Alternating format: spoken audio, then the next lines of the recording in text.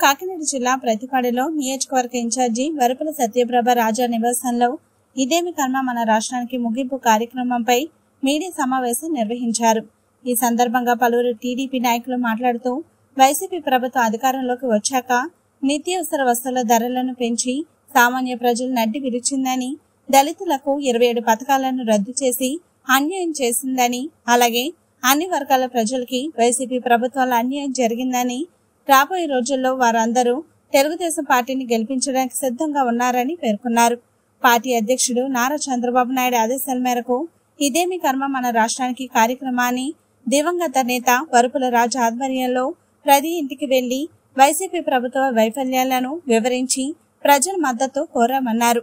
వరుపుల రాజు ఆశయాల సాధనకు సత్యప్రభ రాజాని రాబోయే ఎన్నికల్లో భారీ మెజార్టీతో గెలిపించుకుంటామని పలువురు టీడీపీ శ్రేణులు అన్నారు.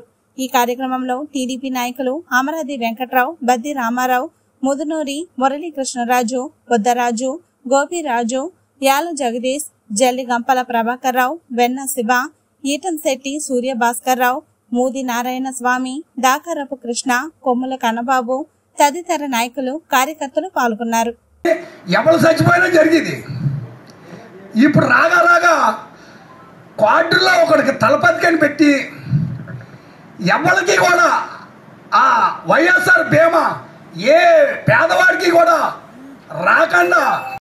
వ్యక్తిగా పేరెన్నికన్న వ్యక్తిగా మన రాష్ట్ర మాజీ ముఖ్యమంత్రి నారా చంద్రబాబు నాయుడు గారు అనే సందర్భంగా ఈ మీడియా సోదరుల ద్వారా నేను తెలియజేసుకుంటున్నా.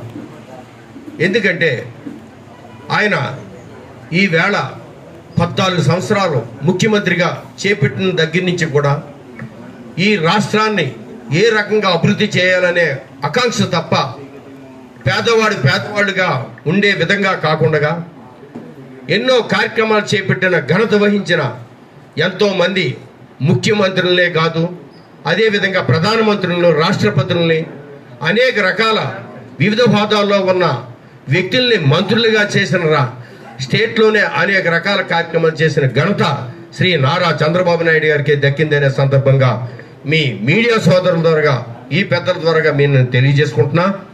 ఎందుకంటే ఈ రాష్ట్రం ఈ వేళ అనేక రకాల ఎన్నో రాష్ట్రం ఈ వేళ రాజ్యాంగం పుట్టిన దగ్గర నుంచి కూడా ఎంతోమంది ముఖ్యమంత్రులు ఈ రాష్ట్రాన్ని ఏలేరు. కానీ ఎంత అవినీతి అనేది అదేవిధంగా అసమర్థత అనేది ఎన్నో ఇబ్బందులతో కూడుకున్న ముఖ్యమంత్రిని ఇంతవరకు కూడా మేము చూసి ఉండలేదు. ఎందుకంటే